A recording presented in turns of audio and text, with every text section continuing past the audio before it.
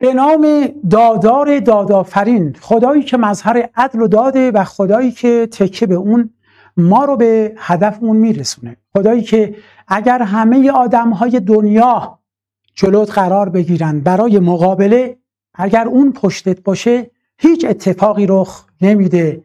چه غم دیوار امت را که دارد چون تو پشتیبان. وقتی تو هستی ما ترسی از مشکلات نداریم.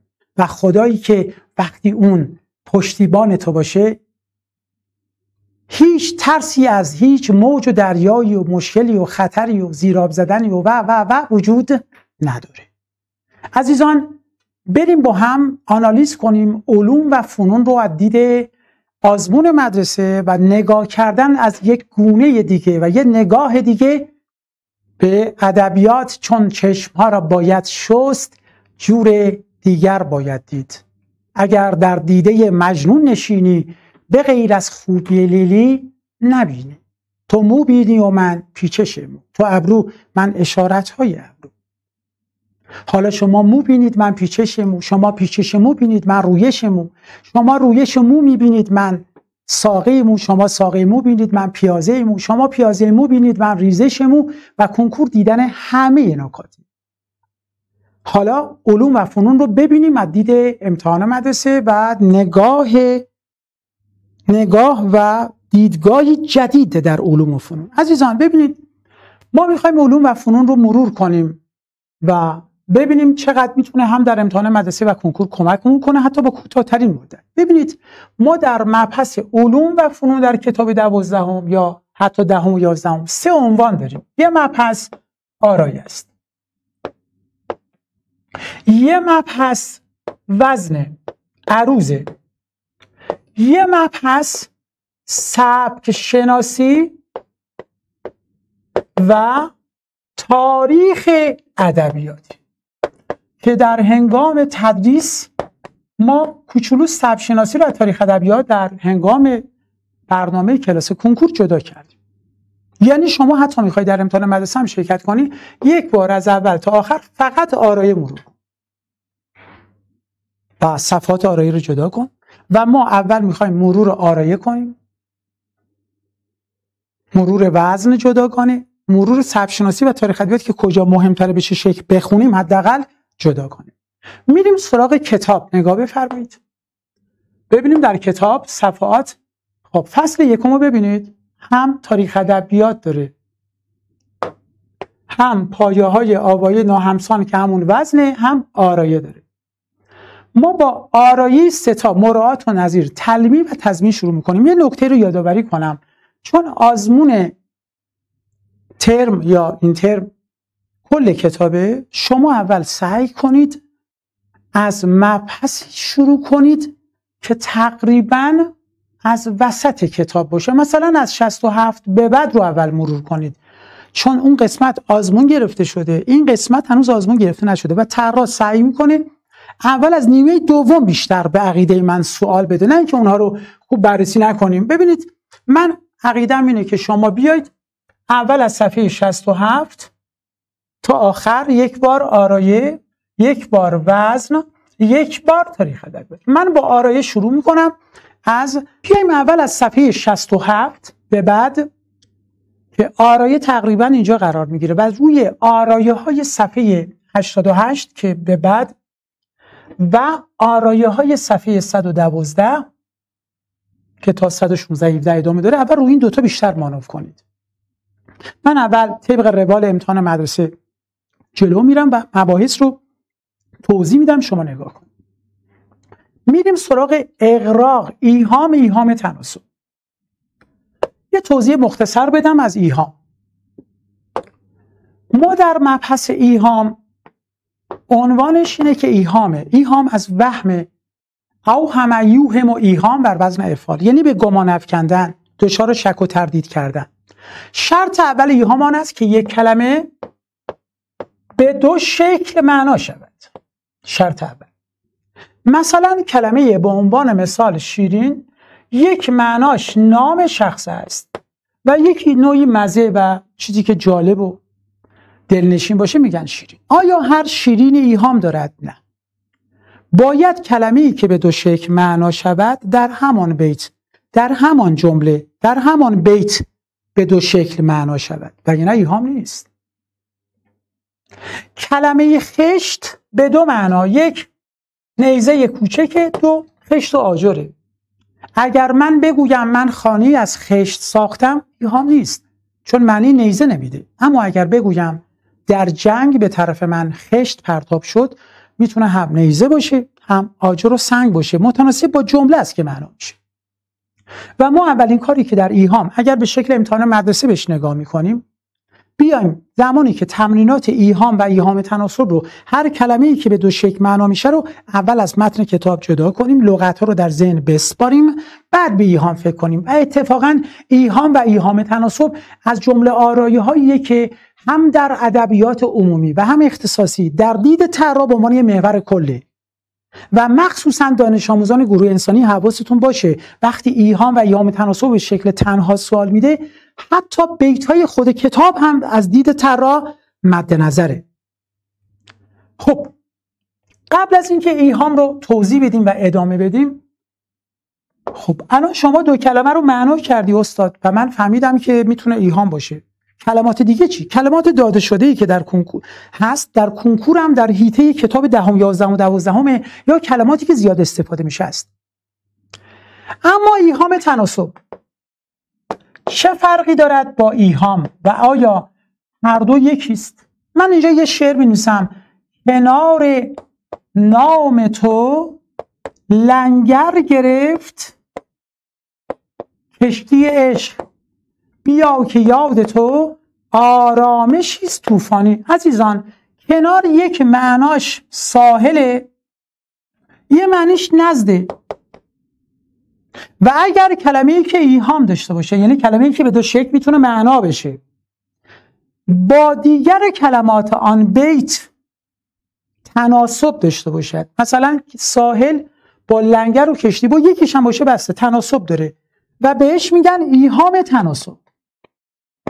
با کدوم معناش تناسب داره؟ با اون معنی اولیه که اصلا بهش نمی‌خوره. و در ایهام تناسب قرار نیست حتما به هر دو شکل معنا بشه. خب این شد از ایهامی که من فقط یه تعریف رمانتیک کردم چون ما اومدیم در تایم تدریس ایهام تمام کلمات ایهام رو در یه جدولی جمع کردیم و به مانوفت کردیم. ولی در اینجا چون امتحان صرف مدرسه است در حد هیته کتاب بررسی می‌کنیم. خب. یه مرور کوتاه هم روی اقراق بکنیم و بعد تمریناتش رو نگاه کنیم. اقراق همون خالی بندی خودمونه. بزرگ نماییه میگن در اقراق اول به ظاهر بیت نگاه کنید.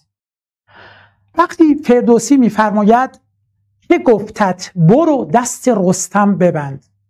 رو هر مصرع مکس کنید. که گفتت برو دست رستم ببند. اینجا خالی نبسته. نبندد مرا دست چرخ بلند. روزگار جهان نمی‌تونه بیاد دست منو ببنده. خب خالی بندیه مگه میشه کل جهان نتونن دست تو رو ببند شرط اول اقراق خواندن ظاهر بیت. خواندن ظاهر بیت و قضاوت رو ظاهر بیت. چه نکاتی حالا می‌تونه در ایهام در اقراق به ما کمک کنه؟ عزیزان من اسمش دیگه دو سه نمی‌ذارم. اصلا یک و هم پاک می‌کنم میگم خواندن تذکراتی که می‌تونه به ما کمک بکنه. مثلا میگن اگر مکانی داده بشه مکان بزرگی باشه جهانی باشه عالم همون جهانه دنیا همون جهانه شهری باشه کشوری باشه مکان بزرگی باشه و منظور از مکان افراد مکان باشه مجاز داره. و این حالت مجاز اغراق هم داره ارتباط بین مجاز و اغراق. مثال بزنم. یه بار میگم جهان را خدا خلقت کرده است. این جهان خود جهانه. پس مردم جهان نیست. این فقط فقط که نه اصلا نه تنها مجاز نداره اغراق هم نداره. اما یه بار میگم تمام جهان می‌دونند که باید فکر کنند کیای جهان مردم جهان. علاوه بر مجاز اغراق داره. پس مکانی داده شود مکان مکان بزرگی باشه. جهانی عالمی. و منظور از مکان افراد مکان باشه علاوه بر مجاز اغراق داره. نکته دیگه ای در مورد اغراق. اعداد ریاضی. اعداد ریاضی. مخصوصا عدد صد و هزار اعداد ریاضی که دلالت بر کسرت می‌کنه زیادی می‌کنه اقراقه مثلا شیخ عجل سعدی میفرماید هزار بادیه سهل است با وجود تو رفتن. این هزار؟ نه اینکه شمرده باشه. 995 تا بادیه چی؟ آقای شیخ عجل سعدی. سهله؟ منظور زیاد. و نکته دیگه در اقراق عزیزان ما در بررسی اقراق اگر نگاه کنید دریا یک عظمتیه اقیانوس یک عظمتی چیزهایی که بزرگ و پر عظمت کوه. سیلاب نگاه کنید طوفان اقیانوس اونایی که بزرگ و پر عظمتن. من وقتی می‌گویم دریای عشق وقتی می‌گویم اقیانوس غم وقتی می‌گویم کوه اندو وقتی می‌گویم سیلاب اشک وقتی می‌گویم اقیانوس رو دو بار نوشتیم البته. وقتی می‌گوییم وقتی می‌گوییم طوفان مثلا بلا طوفان اشک اینها علاوه بر اینکه اضافه تشبیه دارند نه همیشه. اقراقامیزن بدون که شعر خونده بشه. اینا نکاتیه که می‌تونه حتی این نکات حتی حالت تستی هم داره که خیلی کمکتون می‌کنه. و این ضبط برنامه ما از ضبط آنلاین کلاس رسمی ماست و روال ما روال کلاسمونه و گفتیم در اختیار همه قرار بدیم. حالا عزیزان اینجا رو نگاه کنید. گفته اقراق ایهام ایهام تناسب وقتی چنین تعلیلی شما دارید صفحه 88 رو باز می‌کنید و تمریناتی که در قلمروی درس منظور همون تمرین درس. به انزمام توضیحاتی که خودش در تعریف میده بیت ها رو باید یکی یکی با روشی که الان گفتیم بررسی کنیم ببینیم اشراف داریم یا نگاه کنید. اقراق ایهام ایهام تمس اول از اقراق شروع کردیم شعر رو بخونیم. بگذار تا بگریم چون ابر در بهاران و سنگ ناله خیزد روز ودای یاران. خب ظاهر بیت رو ببینید ایشون می‌خواد گریه کنه مثل ابر خالی بندیه دیگه. خواندن ظاهر بیت. مخصوصا ببینید بچه ها شعرهایی که حماسیه یا حماسیه در شعر فردوسی بزن بزن و بکش بکش و تیراندازیه. و شعرهایی که عاشق در وصف معشوقه مخصوصا در ودای معشوقه یه همشون خالی بندی و اقراقه. دلم گرفته از این روزها و دلم تنگ است. خب تا اینجا مشکلی نداریم. میان ما و رسیدن هزار پرسنگ است. عددی که به شما گفتم. دلالت بر چی داره؟ اقراق داره. چو رامین که گهی بنواختی چنگ ز شادی بر سر آب آمدی سنگ. وقتی چنگ می نواخت سنگ می اومد روی آب. خب خالی بندی ظاهر بید. خب ایهام نگاه کنید. کلماتی که به دو شکل معنا میشن جدا می‌کنی. کلمه مهر یه معنیش خورشیده یه معنیش محبته. آیین مهر و میسرا بی مهر رخت. یکی رخ رو به مهر خورشید تشبیه دو بدون لطف و محبت رخت. روز مرا نور نمانده است. جدا می‌کنیم مهر رو ببینید.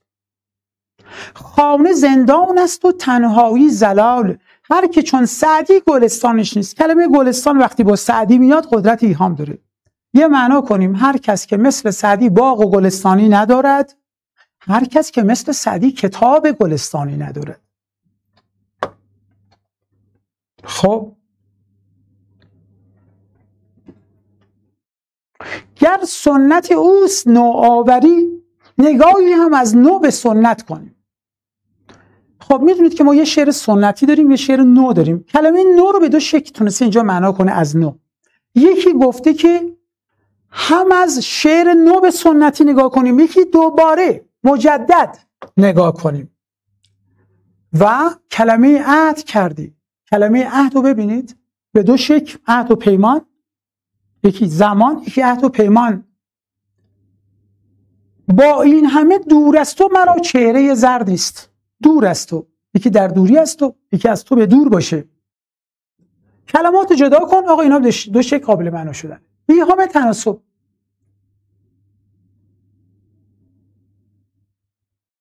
روی خوبت آیتی از لطف بر ما کشف کرد. آیتی که منیش نشانه یکی معنی خود آیه.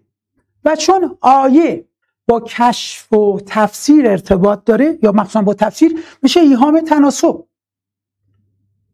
و با معنی اولیش گر هزار است بلبل این باغ هزار یکیش هزار واحد شمارش خونده میشه یکی بلبله.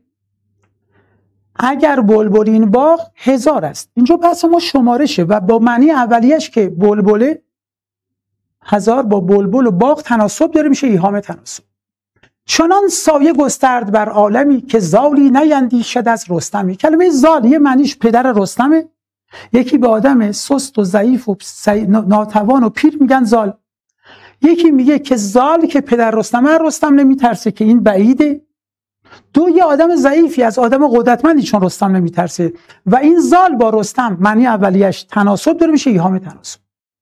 پرستش به مستی است در کیش مهر. مهر خورشید مهر به معنی محبت و عشق و تناسبی که با بقیه داره. اینجا میگه شما لطف کنید. آره ایهام رو ایهام تناسب رو مشخص کنید. و بررسی کنید کلمه شیرین به دو شکل. کلمه افتاده رو می‌تونم به دو شکل معنا کنم. یکی خود افتاده دو متوازی مهر به دو شکل خورشید محبت. و چون مهر با آفتاب تناسب داره با ایوق که نام ستاره تناسب داره میشه ایهام تناسب. ولی افتاده فقط ایهامه. بازی کردن با کلمات. نگران از کلماتیه که به دو شکل معنا میشه. یکی نگاه خیره دو مستره آقا اقراقای بیت میگه پیدا کنید. گر برگ گل گر برگ گل سرخ کنی پیرهنش را از نازکی آزار رسانت بدنش را. چی میگه؟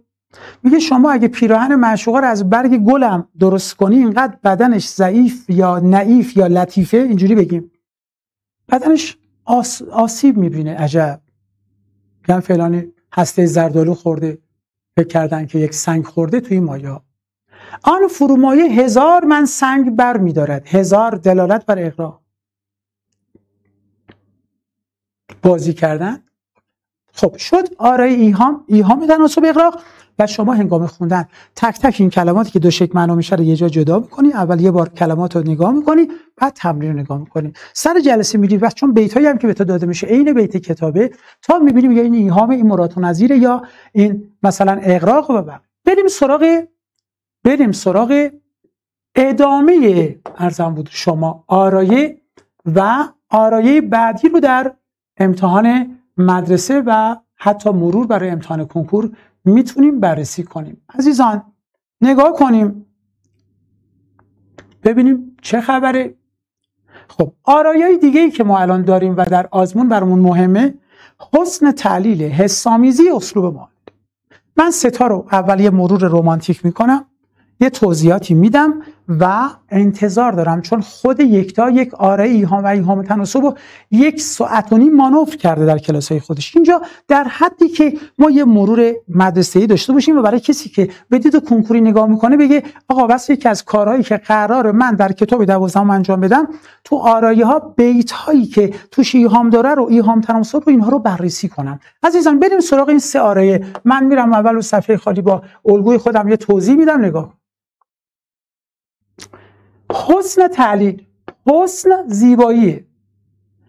تعلیل علت حسن تعلیل یعنی شما یک برای یه سوال یه علت رمانتیک و غیر واقعی منتها دلنشین ذکر بکنید مثلا شما فکر کنید یکی از شما می‌پرسه فلانی احوال ما رو نمی‌پرسی؟ سوال.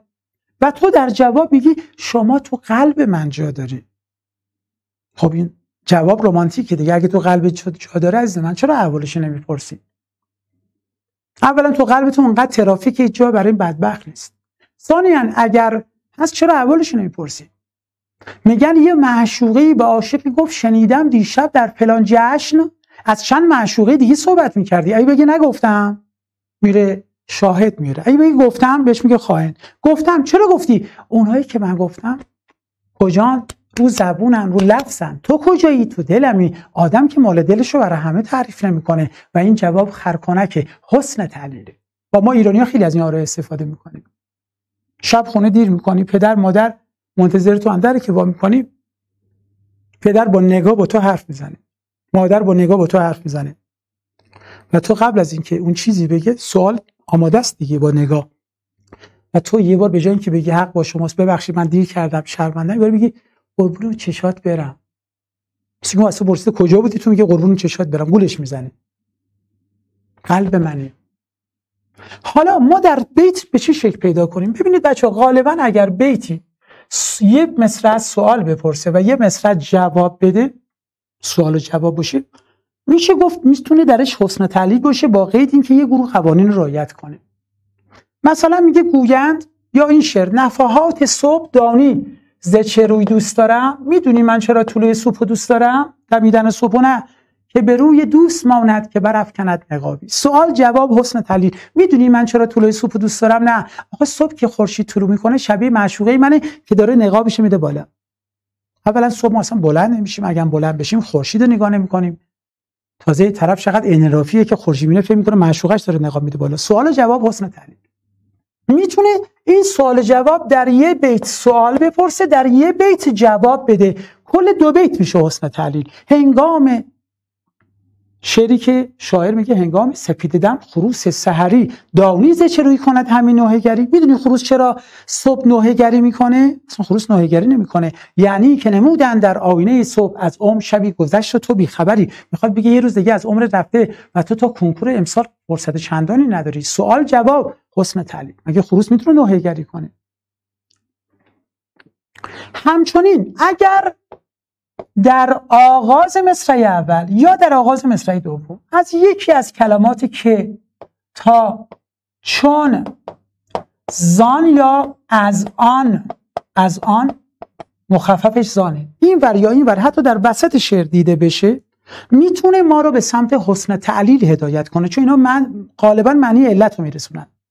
که یکی معادل معادل زیراکه چراکه. چون معنی مانند ندا معنی علت رو برسونه می‌تونه ما در حسن تحلیل کمک کنه. حالا عزیزان خاطرتون باشه. خاطرتون باشه. شعرهایی که غالبا حماسی شعر فردوسی توش حسن تحلیل کمه چون بناش خشونت رمانتیک نیست. نه هیچ نباشه. شعرهایی که مناظره است. مناظره یه طرف با فعل گفت سوال می‌پرسه یه طرف با فعل گفت جواب میده. چون هدف تخریب همدیگه است غالبا توش حسن تحلیل نیست. و شعرهایی که پند و اندرس در مورد دنیا میده آخرت میده. میگه این کارا بده این کارا نکن. اینا هیچ وقت توش حسن تعلیل نیست. حتی اگه علتی بیان بشه. و پس شد حسن تعلیل من دو ستا رو کنار هم یه توضیح میدم بعد میریم سراغ خود کتاب. خب آرایی داریم به نام حسامیزی. میگن حسامیزی آمیخته شدن دو حس مختلف با همه. حالا من میگم اینو از ذهن دور کن. اینجوری فکر کن که ما پنج تا حس داریم. آقا حس لامسه داریم از نرم و لطیف و زبر و خشن. آهنگ و نوا و صدا داریم حس شنوایی. آقا ما نرم و لطیف داشتیم لامسه. نوا و صدا شنوایی. بو عطر بویایی. راهیه بعد ارزم بود. شما سیاه و سفید و رنگ و روشن و اینها داریم بینایی. و همچنین تاریک و روشن و سیاه و سفید بینایی داریم. و در آخر شیرین و تلخ و اینها داریم. حس چشایی. ما برای اینکه حسامیزی رو شما زودتر پیدا کنید میگیم اگر صفات هر حس از رو کلمه قبل یا بعد به همون حس نسبت داده نشود حسامیزیه یعنی چه مثلا من می‌گویم لباس نرم تو می‌تونی دست بزنی. حسامیزی وجود نداره.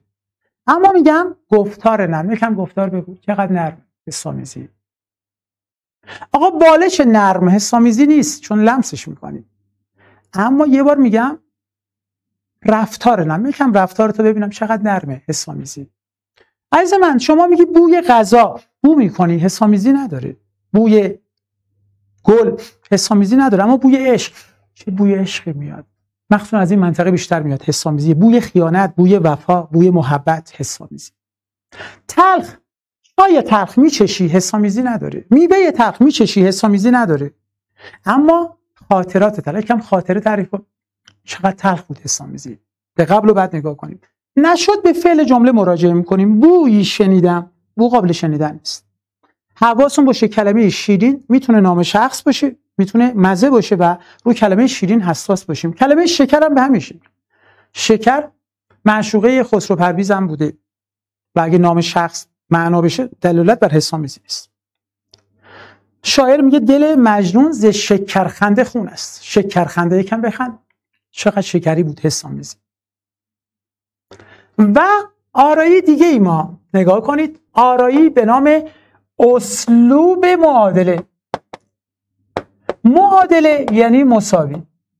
روش یکسان. اسلوب معادله مثل این میمونه که شما یه نفر فکر کنید مثلا به زبان فارسی حرف بزنه یکی به زبان عربی حرف بزنه ولی معنا و مفهومشون شبیه هم باشه. ظاهرا با هم ارتباط ندارن. یا اینجوری بگیم که آقا من قراره از یک مسیری برم خونه. من از جهت مثلا شمال به سمت خونه میرم یکی از سمت جنوب. ولی هر دو به یک آدرس ختم میشن. اصل و معادله دو مصر است که در ظاهر هیچ ارتباطی با هم ندارند ولی مفهوم و معناشون شبیه همه. یکی جدی حرف می‌زنه یکی نسبت به دیگری به شکل مثال حرف می‌زنه تمثیل حرف می‌زنه. شاعر میگه عشق چون آیت برد هوش دل فرزانه را. این یک مثال. دزد دانا می‌کشد اول چراغ خانه را. این بر عشق اون بر دزد. این چقدر با هم فرق دارن؟ ولی مفهومشون اینه همه. میگه عشق بیاد عقل عاقل رو می‌بره. دزدم بیاد اول می‌زنه چراغ خانه رو خاموش می‌کنه. دزدم اون عشق دیگه. اون تا به شکل مثال داره میگه. این که بعضیا میگن جای دو مصرع میشه عوض کرد. این که در آغاز مصرع دوم می‌تونیم به مانند بذاریم. همه اینها می‌تونه کمک کنه. حالا با همه این توضیحات و یک تا توضیحات تستی که در سر کلاس کلی بحث کرده ببینیم اینجا چه خبره. نگاه کنید. حسن تعلیل مثال ها به سرو گفت کسی میوهی نمیاری؟ سوال پرسید. نگاه کنید. پس دارید دیگه حل می‌کنی با روش من. آقا سوال. اصلا خاطرتون باشه. وقتی سوالی پرسیده بشه و توش تشخیص باشه. تشخیص حالتی از استار است. به کی گفتند؟ به سرو گفتند. جایی که شما مخاطب رو غیر انسان قرار میدی مخاطب رو. جوابی که بهش داده میشه بالغ بر 99 درصد دیگه حسن تعلیله چون سرو حرف نمی‌زنه که این جوابو بده. حسن تعلیل اینجا رو نگاه کنید. توی بهانیان ابرها که میگریند شعر از دکتر قیصر همین ابرها میگریند نگاه کنید از همینجا تشخیصه. چرا بهانه تو به خاطر توی که میگریند بیا بیا چرا بیام؟ جواب که داره؟ نگاه کنید که صاف شود این هوایی بارانی بیا بیا. چرا؟ که صاف شود این هوایی بارانی نرگس همی رکوع کند در میان باغ. خب زیرا که نگاه کنید. بازم به حالت تشخیص. کی رکوع می‌کنه؟ گل نرگس. علت برده با که زیرا که حتما توش حسن تعلیلی من چون فرصت خیلی کمه و قرارتون مبحث همه رو بگیم دور تون میریم دیگه. باران همه بر جای عرق میچکد از ابر. باران به جای عرق داره میچکه. پیداست که. نگاه کن که بیانگر حسن تعلیل چرا باران به جای عرق زیرا از دست تو حیا کرده؟ رسم بدعدی ایام چدید؟ ابر بهار. گریش بر سمن و سنبل و نسین آمد. کی بدعهدی کرده. ایام نگاه کنید حالت تشخیص. علت رو داره بیان می‌کنه. از آن مرد دانا دهان دوخته است. نگاه کنید. از آن. زان یا از آن؟ که بیند؟ چرا مرد دانا دهان دوخته است؟ چرا حرف نمی‌زنه؟ آخه دیده شم حرف زده. زبونشو سوزوندن. اگه شم حرف می‌زنه؟ بله نورش هم که بالا پای می‌کنه شبیه آدمی که زبونشو در برده هنگام سپیددم خروس سحری دانیز چرا هم می‌کند نوهیگری سوال. اونم خروس داره نوهیگری می‌کنه تشخیص. علت اینه حسن تعلیل حسامیزی سپه بود پرستنده را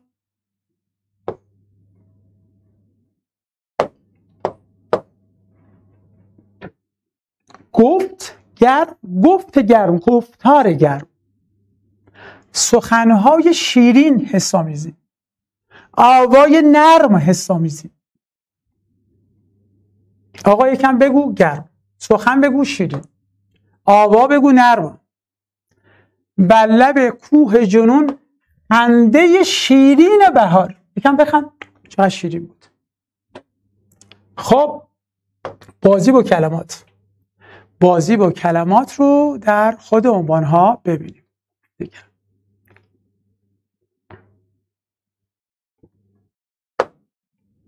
یا میگه بشنوی بو. بو قابل شنیدن نیست. چه بوی میاد؟ حالا نشو کسی می‌خواد بو کنه اینجوری کنه. از پریب به آبی. مگه پریب رنگ داره که آبی باشه؟ از صدای سخن عشق ندیدم حسامیزی. رنگ غروب میترابد. لبم قصه سرد. یکم قصه بگو چقدر سرده. حسابزی اسلوب معادله. دل چو شد قافل زحق فرمانپذیر تم بود. نگاه کنید. این از دل میگه. قافل بودن و حق و اینها میگه. اون بر نگاه کنید. می‌برد هر جا که خواهد. اسب خواب داره اینقدر کانال عوض شد. اسب کجا؟ دل و اینها کجا؟ میگه دل که قافل بشه از خداوند تابع جسمه. همونطور که کسی که بخوابه اسب دیگه خودش فرمان برنده نیست. اسب اونو هر طرف بخواد می‌بره. دو موضوع جداگانه. اسلوب معادله. اسلوب معادله. سعدی از سرزنش خلق نترسد. هیهات. مثال اول از سرزنش حرف می‌زنه.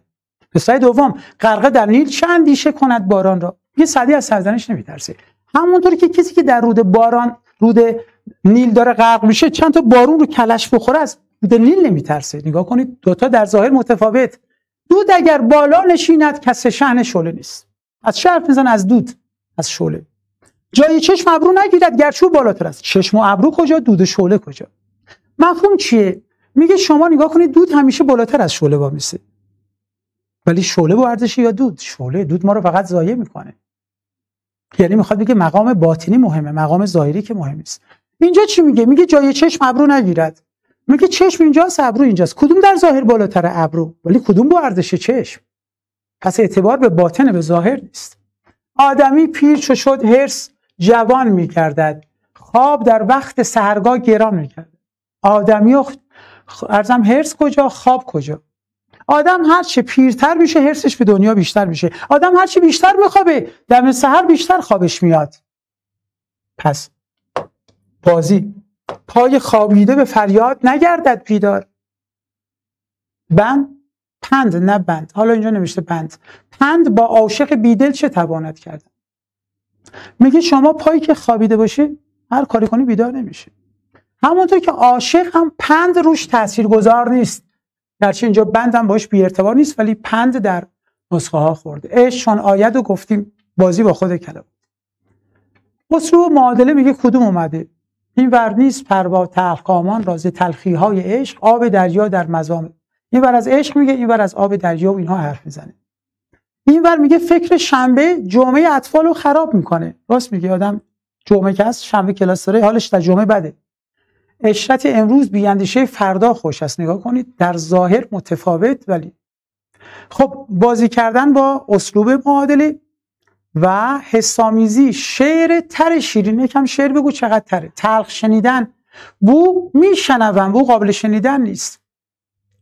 با مزه می نوشته یکم بنویس چقدر با مزه بود. عجب نیست بر خاک اگر گل شکفت. که بیانگر حسن تعلیل اگر دیدی از خاک گل شکفته تعجب نکن. چرا؟ زیرا آدم های خوشتیپ و در خاک گذاشتن از اونها گل رشد کرده. پس ارزم بود شما بازی کردن. به یک کرشمه که در کار آسمان کردی هنوز میپرد از شوق چشم کوکبا. چرا چشم ستاره ها؟ ارزم بود شما از شوق میپره به خاطر اینکه تو کرشمه کردی.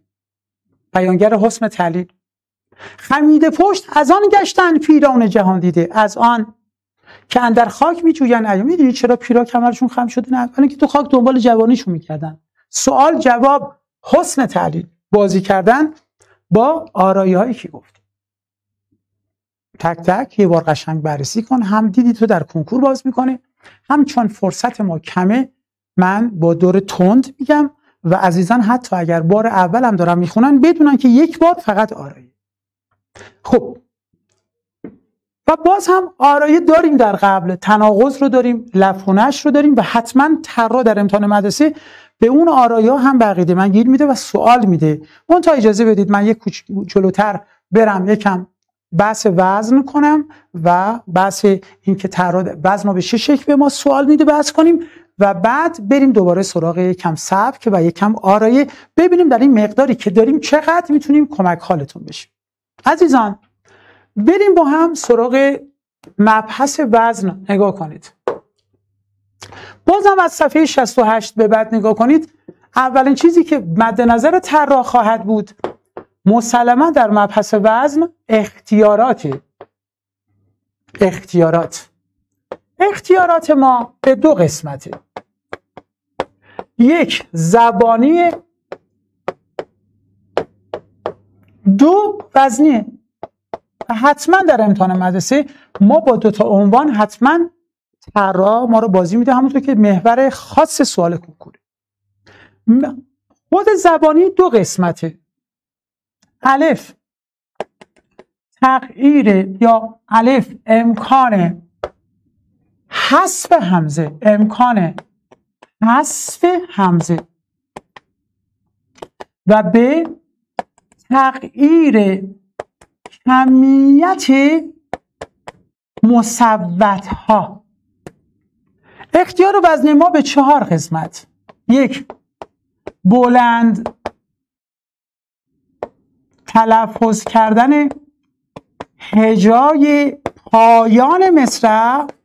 میگیم در چه مورد؟ دو قلب.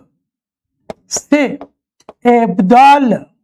چهار تبدیل فعلاتون به فاعلاتون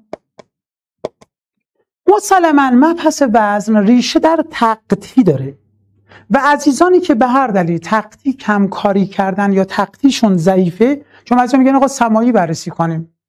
شعری که خیلی خاص باشه شده می‌خوای سمایی بررسی کنیم خب اینا چی اند و طراح یه باری ممکنه بیتی به ما بده بگه در اینجا اختیارات زبانی داریم؟ کدوم حالت؟ یا بپرسه امکان از فهمزه داریم؟ تغییر کمیت مثبت ها داریم؟ اینو بپرس از ما.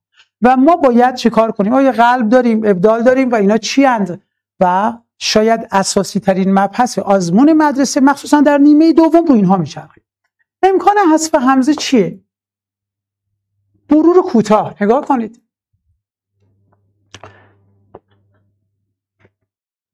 همزه یا آ؟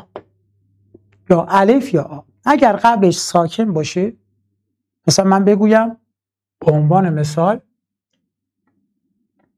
در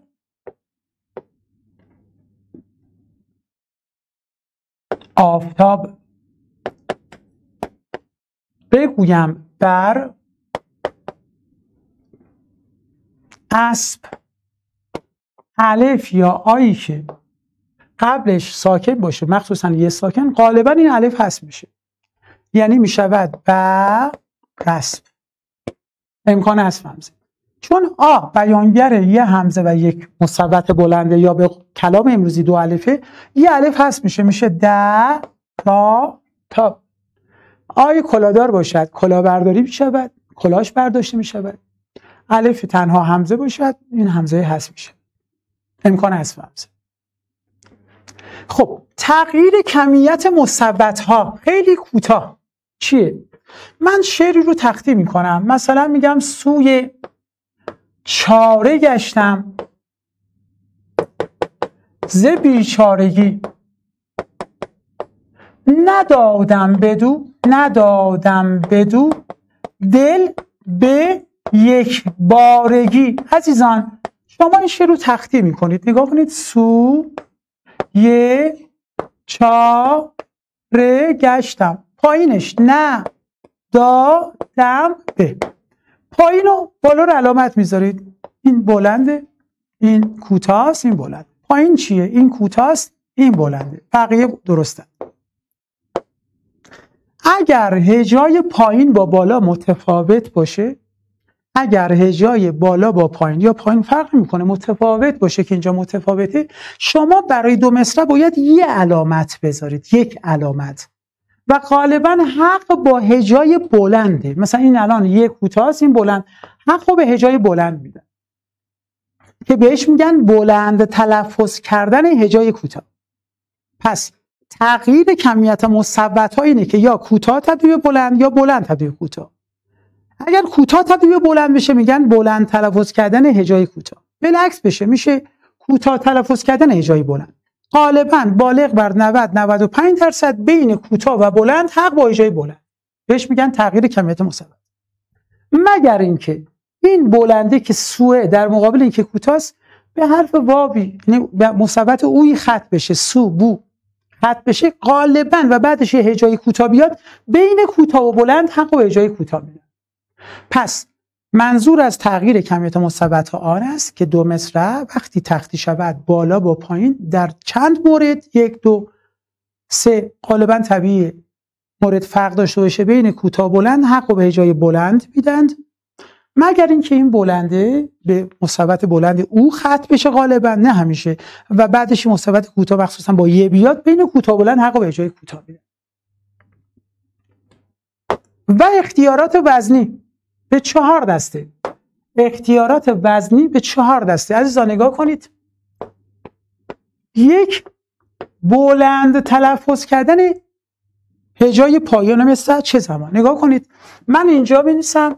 در نیابد حال پخته هیچ خام. اگر هجای پایان مصرع چه این ور چه این ور چه دو طرف حالا فرق می‌کنه. کشیده باشه خام کشیده است. یا حتی کوتاه باشه بگم نه. غالبا نباید علامت یو داشته باشه. خام باید خط تیره یو داشته باشه. اگر دیدیم هجای پایین مصرع کوتاه کشیده بود در یک ستون به یه علامت خط تیره که همون هجا بلنده بیشتر نمی‌ذاریم. این میشه اولین اختیار وزنی. پس اگه با به ما سوال دادن آیا در این بیت اختیار وزنی دارید یا نه شما اول برو پایان مصرع رو نگاه کن. اگر هجای کشیده مخصوصا بود بگو بله و به جاش یه خط تیره باید بذاری. با هم توی دو تبدیل فعلاتون به فاعلاتون یعنی چی؟ اگر ما نه فقط در رکن اول اگر ما شعر رو داریم تقدیم می‌کنیم یعنی شعر ما به این شکل باشه. مثلا پایینش. یه طرف من دارم فاعلاتون طرف دیگه دارم فعلاتون اگر در رکن اول فاعلاتون باشد. یه طرف فعلاتون ما فعلاتون رو تبدیل به فاعلاتون می‌کنیم. عکس مسئله صحیح نیست. اونم فقط در رکن اول. تعریفی. چهار جای اول رو در دو طرف بررسی می‌کنیم. ببینیم چه رخ داده. قلب چیه؟ ابدال چیه؟ اونم بحث می‌کنیم. سه ابدال. ابدال آن است که در اصلا قانون ابدال چیه؟ آقا دو مصرع رو شما تقدیم می‌کنید. یکی نسبت به دیگری یه هجا اضافه تر داره. ابدال در اصل اینجوریه که من در یک طرف مثلا به این شکل داشته باشم طرف دیگه به این شکل. یعنی دو تا یو خط تیره خط تیره خط تیره. ابدال می‌تونه در اینجا رخ بده. آیا ابدال فقط در آخر رخ میده؟ شما اول به آخر نگاه کن. می‌تونه در اول رخ بده. در کدوم وزنها؟ وزنهایی که دو تا یو داره یعنی به این شکل باشه. نگاه کنید. چهار هجای اول یا اینجوری باشه. یا اینجوری باشه یا اینجوری باشه. اگه وزنم بلد نباشیم نگاه کنید یا کوتاه در اول یا در وسط یا در آخر. و علاوتون مفتعلون مستفل و طرف دیگه به این شکل باشه. یکی اینجوری یکی اینجوری. یکی اینجوری یکی اینجوری. بازی کردن با اختیارات وزنی قلب چیه؟ یکی از طرف جابجا کردن علامت دو هجا در کدوم وزن؟ مفتعلون فقط هم در همین وزن. مفتعلون. مفتعلون. و طرف دیگه مفاعلون. شعر رو تقطی کنم یه طرف اینجوری در بیاد یه طرف اینجوری. که من با جابجا کردن علامت دو حجاب می‌تونم قلب یعنی دگرگونی. پس اگه کتاب رو هم می‌خوای مرور کنی به این شکل باید بررسی کنی. زبانی وزنی گرچه ما زبانی رو و وزنی رو با تست با عنوانی که برای دانش آموز گفتیم شاید 3 4 ساعت وقت گذاشتیم. ولی در حد امتحان مدرسه که آقا چیه و نکته چیه حتی ممکنه با بپرسن قلب یعنی چه این همین از شما بخواد تو برسی ابدال کجا رخ میده؟ اصلا تعریفی از تو بخواد. پس یکی از عنوانای ما وزنه. یا گفته وزن در شعر نیمایی. چجوریه؟ یکی از مباحث. خب اصلا شعر نیمایی چه نوع شعریه؟ شعریه که اگر ما بررسی کنیم می‌دونید که ردیف نداره چون ممکن از ما بخوان. ردیف نام دیگهش هست قید تصاوی. ردیف چیه؟ دو کلمه است که در پایان دو مصرع می اومده عین هم با معنای یکسان. که در شعر سنتی هم می‌تونست باشه می‌تونست نباشه. ولی نیما اومد اولین کاری که کرد اصلا ردیف رو از شعر برداشت. دو. دیگه نیما چیکار کرد؟ قافیه در بعضی از مصراها هست در بعضی از مصراها نیست. سه. شعر نیما وزن داره. آهنگو داره. تخیل داره. چون شعر برای اینکه ساخته بشه این از وسایل و ابزارشه. ردیف الزام نیست اشرام نداره. قافیه نصفه داره ولی وزن و آهنگ و تخیل داره. شعر نیمایی. و طول مصراهای آقا نیما یه اندازه نیست. بعضی یه اندازه بعضی بلند بعضی کوتاه. میگن نیما در گفتن شعر نو تحت تاثیر شعر مستزاد واقع شده. نگاه کنید ممکنه از ما بخوان. مستزاد چه نوع شعریه؟ دولت های سمرغندی از بزرگترین شاعران اینه. نگاه کنید شعریه که شاعر به علت طولانی بودن مصرع اندکی رو با فاصله ذکر می‌کرد. مثلا میگه آن کیست که تقریر کند حال گدارا در حضرت شاعر این شعر مستزاد ایوار ندن این شعر. یعنی چه نوع شعریه؟ شعری که دیدید یه مثل رو در روی همینجوری نوشته یکی بلند یکی کوتاه بگو مستزاد. و نیما در گفتن شعر نیما از مستزاد کمک گرفت. حالا وقتی نیما میفرماید نگاه کنید میتراود محتاب میدرخشد شبتاب. نیست یک دم شکند. خواب به چشم کس. ولیک نگاه کنید. یکی از شما می‌پرسه آقا این شعر رو آنالیز کنید. شما میگید آقا این شعر شعر نوعه شعر نیمایی که آقای علی اسفندیاری معروف نیمایی و چی شعر گفت. شعریه که آقا ردیف نداره این باید توضیح بده. آقا اینجا توضیح بده. ردیف نداره. مصرع اول مصرع دوم مصرع اینجا بنویس برای خودت. ردیف نیست. قافیه. بعضی جا داره بعضی جا نداره. بررسی کن. اینجا محتاب با شبتاب که در هر حروف آخر یکسانه قافیه است. ولی ولیک ربطی به قافیه و بد نداره. یعنی بعضی جا داره بعضی جا آقا دیگه چی داره؟ طول مصرعهاش یه اندازه نیست. بنویس یکی از می‌پرسی اینا رو برای من توضیح بده. طول مصرع یکسان. آهنگ داره اینا داره وزن داره تخیل داره. خب چطور تختیش کنم؟ هیچی. هر چی که اینجا میشه بقیه نگاه کنید می تراوت محتاب فاعلاتون بقیه دیگه همینه. می درخشد شب تاب فاعلاتون این هر چی که جدا تختی میشه. بررسی وزن در شعر نیمایی خب پس اختیارات زبانی 100 درصد به عنوان محور امکان حذف همزه تغییر کمیت مثبت ها اختیارات وزنی شعر وزن در شعر نیما. گفتیم یه کوچولو هم این رو بررسی کرده باشیم که شما دارید کتاب رو می‌خونید تقریبا آماده باشید. که سه چهار پنج دقیقه تنفس میدم. تنفس بگیرید ادامه بدیم. خب عزیزان اگر توجه بفرمایید ما در اینجا نوشته اختیارات شاعری زبانی. اینجا نوشته اختیارات وزنی و اینجا نوشته وزن در شعر نیمایی. پس ما در آزمون این دفعه در کتاب علوم فنون مدرسه بیشتر باید به اینجا بپردازه که وزنی تقریبا از 60 صفحه بعد و وزن در شعر نیمایی. ولی ما در اینجا از اختیارات شاعری زبانی هم حرف زدیم. حالا ما دیگه چه نکاتی داریم؟ اولا آرایی هایی داریم که در نیمه اول که مرات و نظیر تلمی تزمین اینجا لفونش رو تضاد و متناقض نما رو داریم به عنوان اتمام آرایه که باید یه بار آرایه مرور بشه دوباره از صفحه یک تا 64 زبانی رو بررسی کردیم و دوباره باید برگردید. دوباره آرایه و دوباره وزنا و بعد سبک شناسی و تاریخ ادبیات. من اول قبل از اینکه این چند آرایه رو یه مرور کلی داشته باشم که تو حداقل در امتحان مرسه با نگاه هم مشکلی حل بشه بریم با هم یه اشاره به تاریخ ادبیات بکنیم.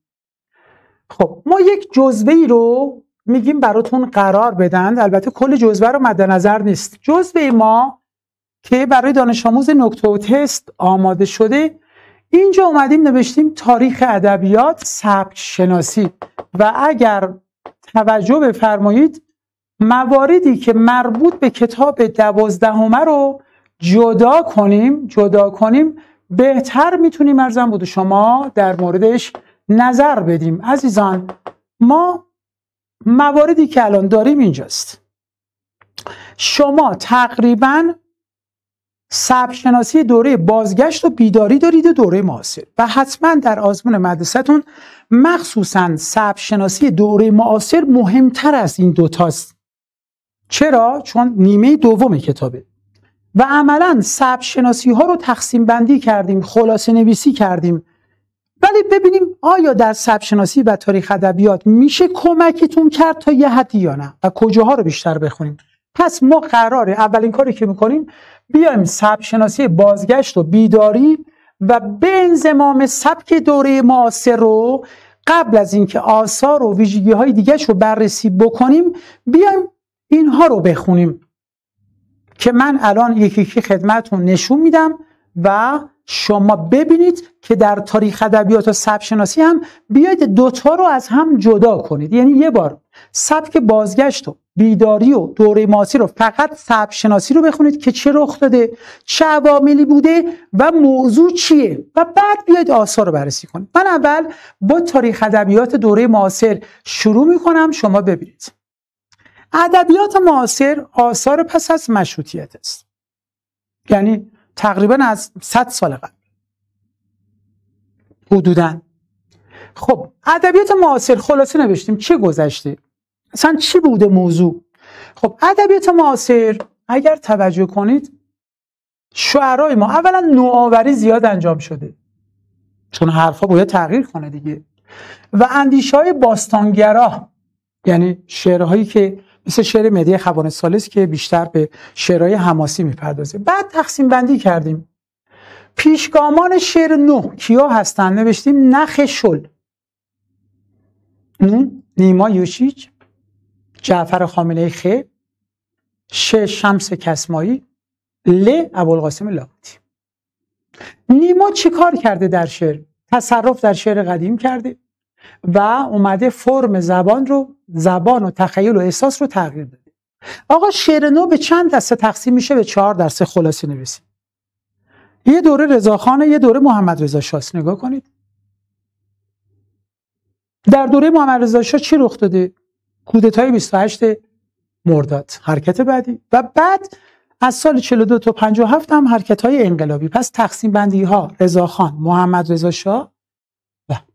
بعد اینجا چه تغییراتی کرد؟ دوره رضاخان درخشش شعر نیما. دوره محمد رضا شاه شعر نیما در کنار شعر سنتی. کودتا شعر شروع شعر تغزلی. و چه عواملی رخ داده؟ مسلما وقتی کودتا بشه سرخوردگی رخ میده. مسائل سیاسی اجتماعی رخ میده. شاعران دوره معاصر کیا هستند؟ سه قسمت. کشمش شام تقسیم بندی. فنر فحشا فرخزاد. و بعد تقسیم بندی شعرا پروین اعتصامی. خلاصه کلام. در قصیده به سبک ناصر خسرو و در لطافت شیوه سعدی. نخ نه ناصر خسرو. خیر ناصر خسرو. باید می‌گفت ارزم شما عزیز من باید می‌گفت مثلا سن که سین می‌شد یا می‌شد خن خ می‌شد ناصر خسرو سین می‌شد سعدی جابجا کلمه خورده و ایشون استاد شعر مناظره بوده. محمد حسین بهچت شبیه شهریار شهریار شبیه حافظ شعر می‌گفته.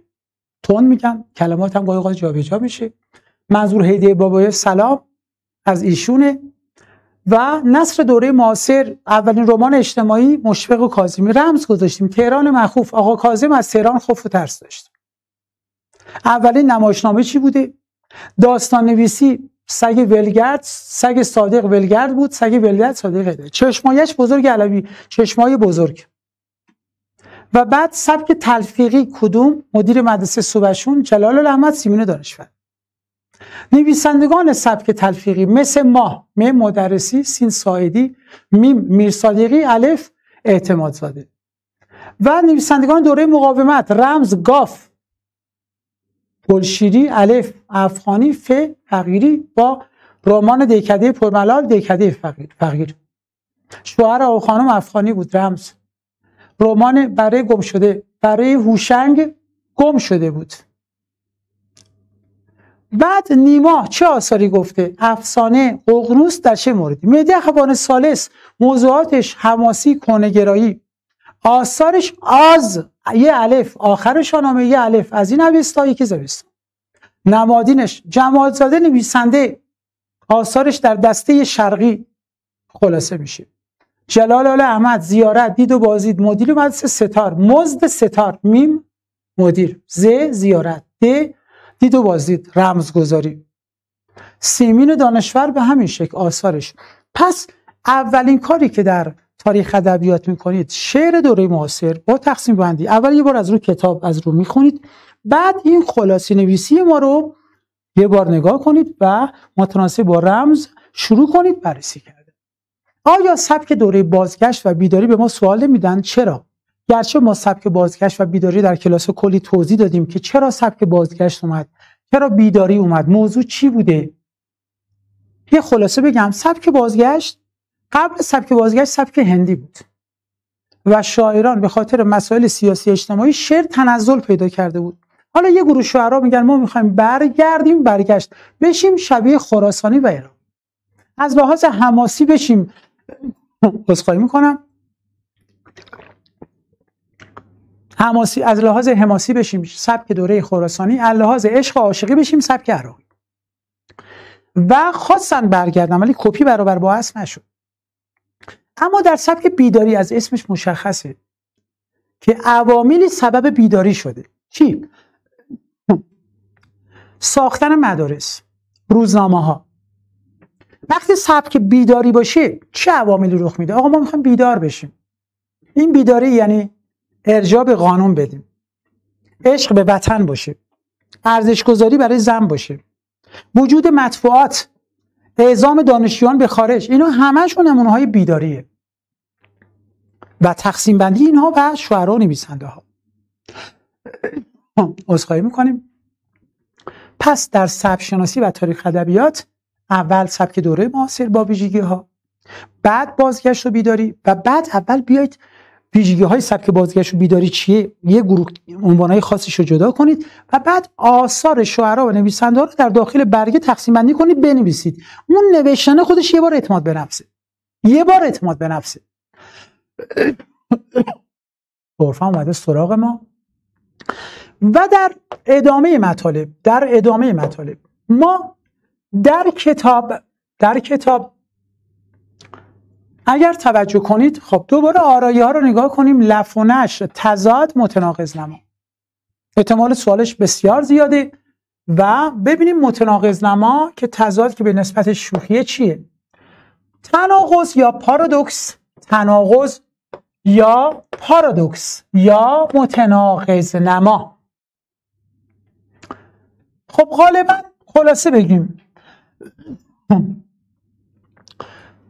در تناقض یا پارادوکس یا متناقض نما. اگر دو کلمه متضاد به وسیله کسره به هم غالبا اضافه بشن اضافه بشن غالبا رو بیاریم میبر غالبا تناقضی شاید که فعل مثبت باشه. حاضر غایب.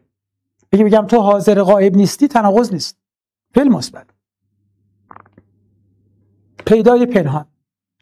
اگر به وصل کسره به هم نچسبید باید دو عمل متضاد از یک نفر یا یک چیز اونم در آن واحد رخ بده در آن واحد. مثل چی؟ من حاضر و غایبم.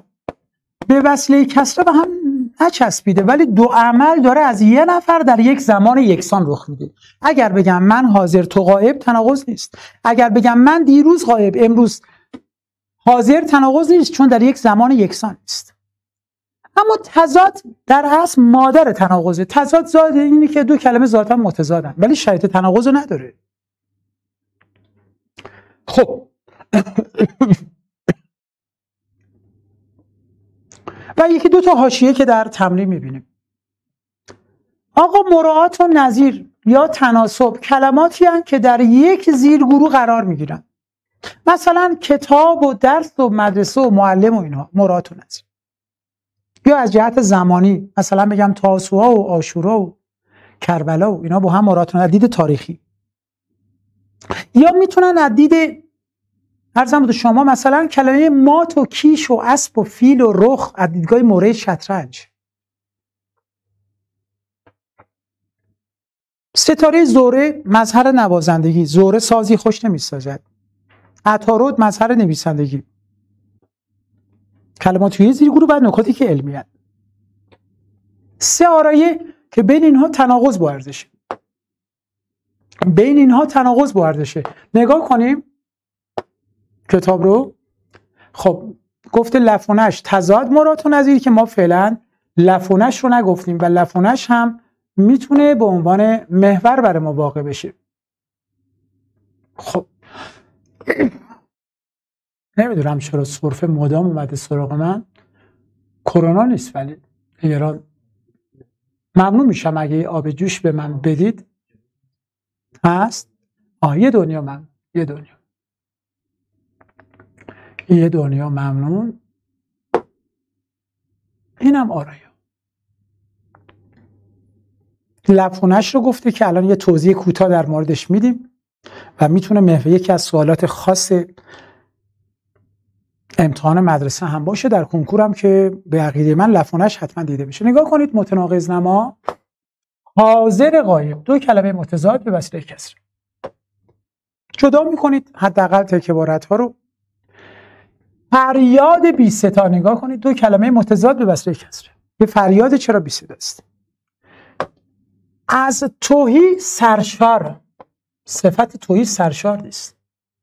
ما با توییم و با تو نیم.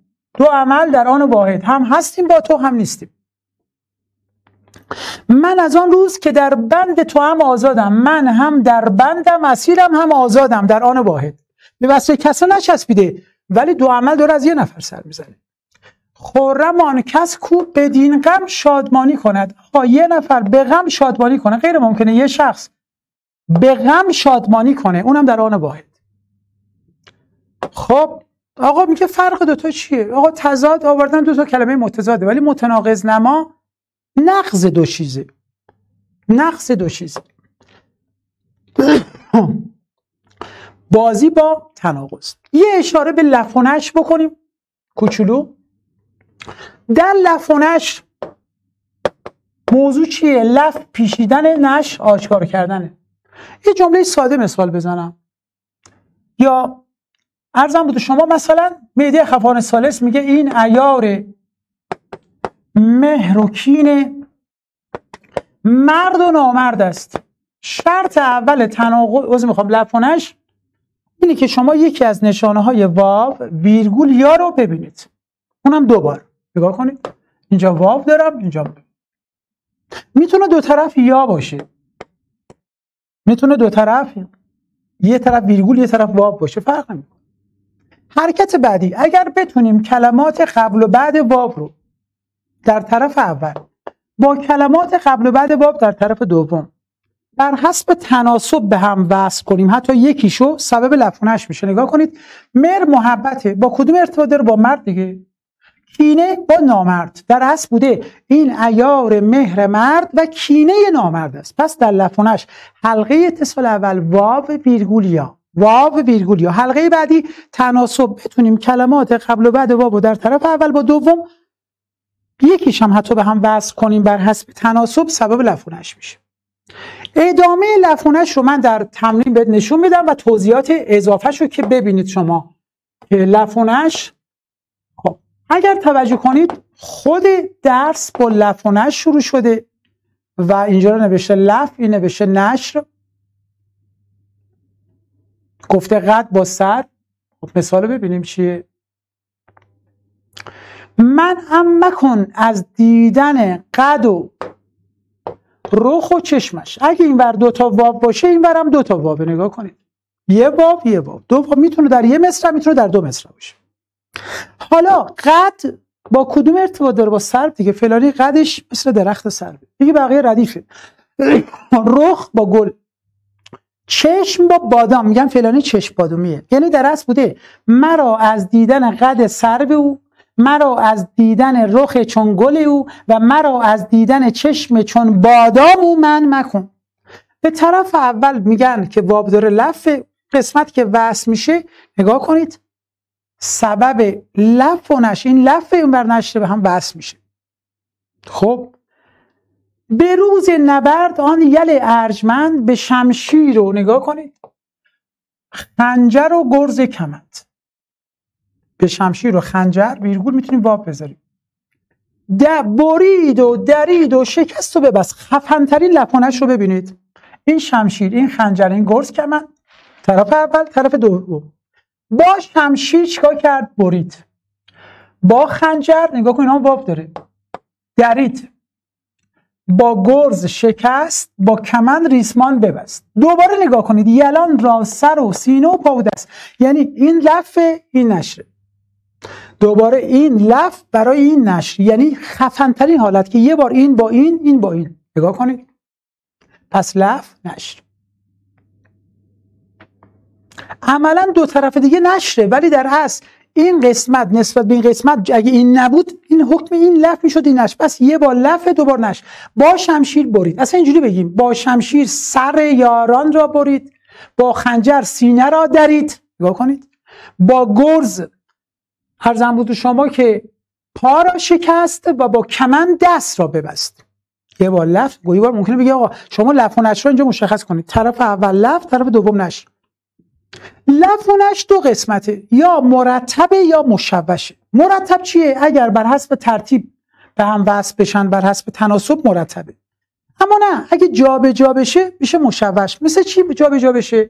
مثلا من بگم به عنوان مثال به عنوان مثال بگم این ایار مهروکین نامرد و مرد است. شما نگاه می‌کنید مهروکین واو نامرد و واو. خب مهر به کدوم وصل میشه به مرد دیگه؟ کینه به نامرد. اینجا جابجا شده. اولی به دومی دومی به اولی. لفونش نامرتب یا مشوش؟ اگر به ترتیب وصل بشه مرتب. نشه مشوش. نگاه کنید. افروختن و سوختن و جام دریدن. نگاه کنید دوبار با. پروانه زمن ویرگول. شم زمن ویرگول. پس دوبار باب دو تا ویرگول. خب. افروختن به پروانه است یا شمه؟ شمه که افروخته میشه نگاه کنید. پروانه میسوزه. پس داره اولی به دومی دومی به اولی. لفونش نامرتب یا مشبش و جامع دریدن زگل آمد لفونش نامرتب یا مش... نامرتب یا مشبش کدوم ارزشمندتره؟ مرتب. نگاه کنید از اف و خشم دو نمونه است روز و شب. و از مهر و کین دو بار لفونش داریم. نگاه کنید اف آدم وقتی میبخشه چهرش روز دیگه شبی روز روشنه. وقتی عصبانی میشه قیافش شب میشه. مهر محبت شهد شیرین کینه سمه. دو بار لفونش مرتب. روی چشمی داره من در کین گوهر میریزه درست اینجا ویرگول داریم. آن زر میزن خب گوهر زر روی چشم. رویش گوهر میریزد. نه چشمش گوهر میریزد. ریختم مال چشمه. لفونش نامرتب میمونه. و چهرهش مثل زر میمونه طلا میمونه. لفونش نامرتب یا مشبش بازی با تست رو ببینید و ارزم بود شما و تمریناتی که بعد دوباره گذاشته. لفونش مرتب مشبش که می‌تونه یکی از محورهای سوال آزمون مدرسمون هم باشه و در کنکور هم حتما لفونش یک محور اساسی بقیده. من محور اساسی میگم اینه حتما در گزینه ها در رشته اختصاصی دیده خواهد شد. خب. و در آخر یه مرور هم بکنید تلمی و تضمین مرات نظیری که گفتیم. و کل آرایه ها شما کلی نمره اینجا گرفتید الان. خب تلمی چیه؟ اونه که شاعر یا نویسنده کلمه یا کلماتی بیاره که ما رو به یاد یه داستانی حکایتی بندازه ضرب المثلی بندازه. کلمه یا کلماتی بیاره که ما رو به یاد آیه یا حدیثی بندازه. به من بازم در ساعت کنکور کلی نشانه گذاشتم. و شما اگه در شعرها نام خاصی دیدید غیر از نام خود شاعر غالبا شما رو به سمت تلمیه هدایت می‌کنه. اگر اسم زمان مکان خاصی تاسوهایی کربلایی مخصوصا زمانها و مکانهای قبل اسم حیوان خاصی رخشی شی خاصی جنگی احدی خیبری بگی تلمیه. اسامی خاصی آب خزر آب حیات تور نیل داستان عرض موسی. و فرقش با تضمین. تضمین اونه که عین آیه میاد. عین آیه قسمتی. عینا آیه رو می‌بینیم. اما در تلمیه اشاره به آیه میشه. تضمین می‌تونه نقل قول از کسی باشه. یعنی شما اسم شاعری رو بیاری و اونو در داخل گیومه قرار بدی. پس تلمی تضمین.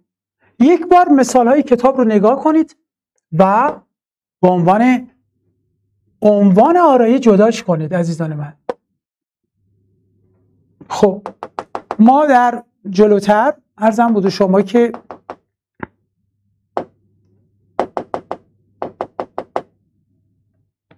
نگاه بکنیم.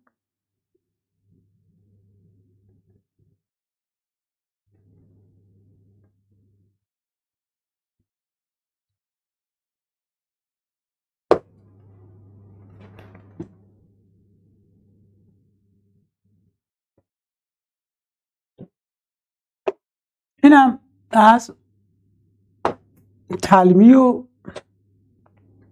مرات و نظیر و تضمین. این تناسب که قبلا بحث کردیم. تلمیه گفت آن یار او گشت سر دار بلند جرمش این بود که اسرار هویدا می‌کرد. آقا اسم خاصی ندارم ولی شخصی به نام حسینی ابن منصور بالای دار رفته به دار آویخته شده. از رو دار و اینها. این مه که چون بنی منیژه لب چا می‌شد تازیانه افراسیاب. از روی منیژه و افراسیاب می‌تونیم بفهمیم که چه گذشته و توضیح که کتاب داده. یار بی پرده از در و دیوار در تجلیس آیه ای داریم که آقا شما به هر طرف رو می‌کنید خدا رو می‌بینید. اشاره به آیه تلوید نه خدا توانمش خواند متعیرم چه نامم شه ملک لافتا را. لافتا الا علی. اشاره به این حدیث تلوید می‌تونه اشاره به ضرب المثل باشه. چون جواب احمق آمد خاموشی. جواب الاحمق سکوت. یوسف در اینجا با زندان به سمت تلمی مجنون با کلمه مجنون. فرعون و موسی به سمت تلمی خلیل داستان حضرت ابراهیم. نام اشخاص ما رو به سمت تلمی در تضمین یا عین آیه میاد؟ عین آیه. نگاه کنید. کل یوم هو فشر عین آیه اومده. تضمینه. کاد الفقر ان یکونه کفرن. عین حدیث اومده. تضمین عین حدیث. به چشم. یا می‌تونه از یکی نقل قول کنه. مثلا حافظ در این بیت کدوم بیت؟ خیز تا خاطر بدم طور که سمرقندی دهیم که از نسیمش. حافظ این قسمتی که در داخل گیومه گذاشته تضمین کرده. یعنی از یکی دیگه گرفته. و شهریار شعری رو گفته و اسم حافظ رو اینجا لسان غیب برده و بیت بعدی رو در داخل گیومه قرار داده. تا بگه تضمینه یعنی از من نیست. عبارت داخل گیومه. پس عملا در تلمی و تضمین هم میشه به این شکل برخورد کرد. عزیزان مرور آرایه اختیارات زبانی و وزنی درست خیلی کوتاه می‌تونه به ما بسیار کمک بکنه و بتونیم در امتحان مدرسه یک کوچولو از پس امتحان بر بیاییم و بدونیم باید به چه شکل بخونیم. در مبحث سبک هم جدا کنید. بیداری بازگشت. بیداری معاصر. اول ببینید پیشگی های سبک بازگشت چیه بیداری چیه معاصر چیه جدا کنید. بعد آثار و حالا چه شعر چه کتاب شعر چه کتاب نصره اونو هم آثار رو جدا کنید. زمینه ها رو هر کدوم رو جداگانه داخل برگه بنویسید. اول معاصر این کار بکنید و من به شما قول میدم اگر یک مرور خوب داشته باشید و تقسیم بندی خوبی داشته باشید شما سر امتحان راحت یک نرمه نمره نرمالی خواهید گرفت. به جای نمره گفتیم نرمه حتی. از ساعت 4 5 جلو دوربین. و ارزم بود شما که به هر حال عزیزانی هم که با ما درس خوندید همه اینا رو مفصل شنیدید و در اصل با مرور کتاب دوازدهم می‌تونید عملا آرایی های خاص انسانی خصوصا لفونش ایهام ایهام تناسب. همچنین بررسی اختیارات زبانی و وزنی که حتما سوال کنکور خواهد بود بررسی کنید شعر معاصر رو جداگانه و بعد تقسیم بندی سبک دوره بازگشت بیداری و معاصر که به عقیده من می‌تونه دو سوال کنکور رو حداقل تشکیل بده رو جداگانه بررسی کنید. و بعد آثار و نویسنده های شاعرها رو جدا کنید و به عقیده من می‌تونید ارزم بود شما از پس امتحان بر بیاد بعضی از بچه‌ها میگن آقا ممکنه به ما شعر بدن از کیه؟ بله اگر هم بدن من تو جزوه هم شعر رو نوشتم. ولی اون شعرهایی رو به شما میدن که شاعر مثلا میگه ایشون در راه وطن جونش رو از دست داده بعد یه بیت میاره.